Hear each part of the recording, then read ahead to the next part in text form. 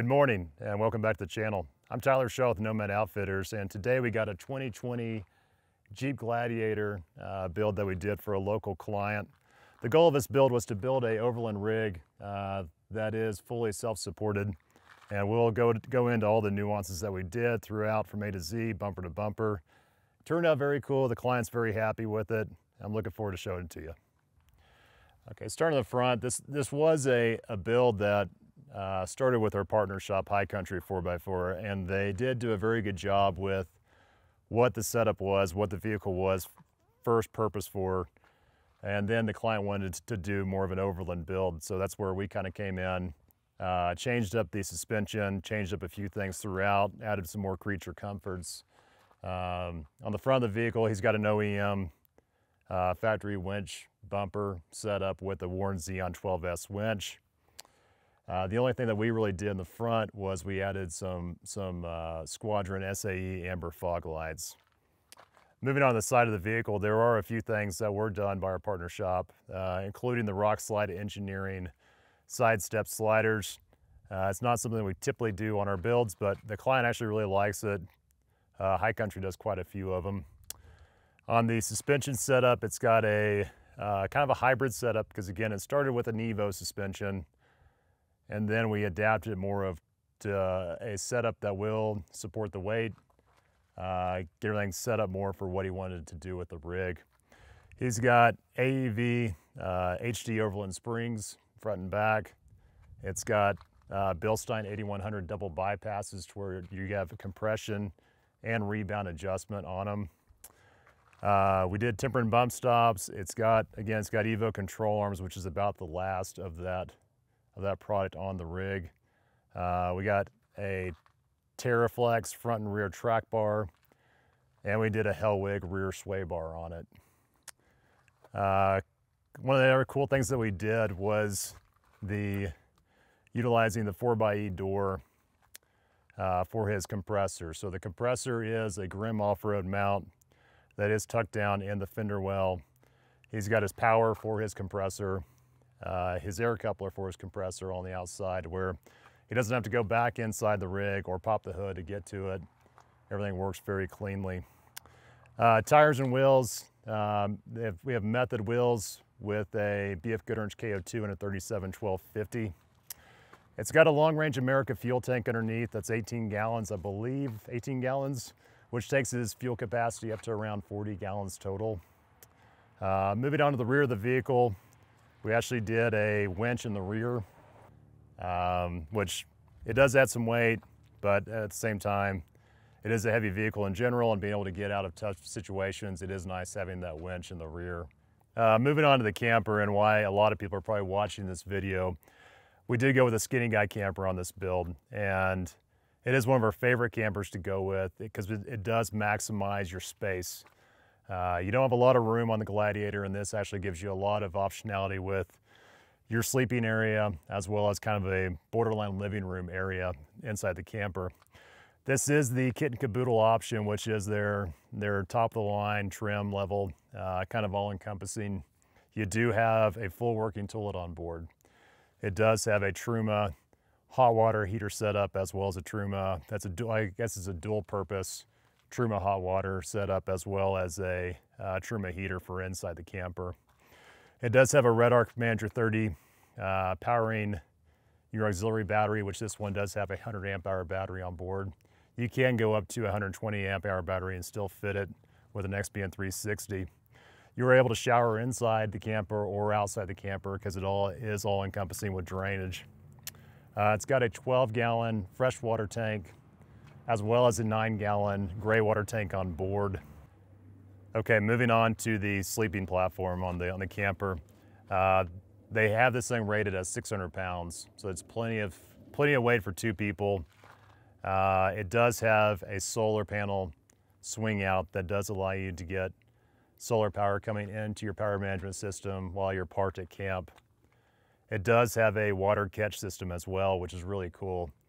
Uh, how that works is when it's raining, water's in the tent, it's going down into the built, built-in gutter system on the sleeping platform, runs into a hose and drains right into your water tanks.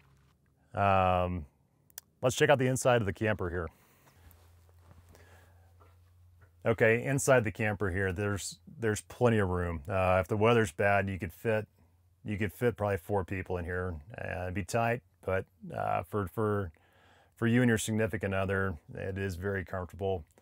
You do have your single burner stove as well as uh, your your sink up front here. It does have a slide system that slides out a little further, gives you plenty of room to where you could actually cook inside if you wanted to. Uh, but making coffee, getting up in the morning, you're able to check all those boxes, uh, being inside. Underneath me is the full working toilet, and to the right is the Truma heater. That is your water tank heater, as well as your heater for inside the camper. Back here, you're in you got a little bit more cubby space. Um, on the five foot model, there's not a ton of cubby room, but it, it is uh, it, it is enough to where you do have all of your, your storage room underneath as well in a, in a drawer system. Uh, the bed slides out a little bit to where you do have plenty of room for two, two grown adults. Uh, I'm right at six foot and about 200 pounds. My wife's five eight, and we are very comfortable. Uh, there's, there's plenty of room in here for us. Okay, moving on to the rear of the camper. Uh, you do have the ability to shower inside the camper as well as on the exterior. You do have your full hose set up, uh, able to access it from everything from here. In the same compartment, you do have your CO2 reader, or your, I'm sorry, your CO2 alarm as well as your smoke alarm. In the middle, you do have your 20 gallon propane tank that is powering your Truma heater. Over here, you do have a little bit of extra storage uh, that is easy access from inside or outside. Underneath, uh, it is the kit and caboodle option, so you do have the full subfloor system that does have, again, your 12 gallons of fresh water, your nine gallons of gray water.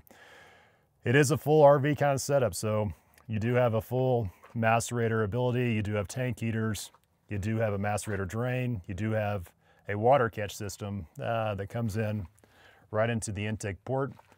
You run a hose down from the overhang and you get, you get fresh water coming in. You also have your water drain uh, back here in the back if, if you want to drain the system for the season. Underneath, we do have the Decked drawer system on this build. Gives you plenty of room for your extra gear. Uh, we're also working with Air Down Gear Up to do a few different options on drawer slide outs that are going to be really cool. For their base camp setups and I believe for the mid-level setups, you do not get the, the full subfloor system. Uh, so your drawer system and kitchen pull out uh, right now has about 13, 14 inches.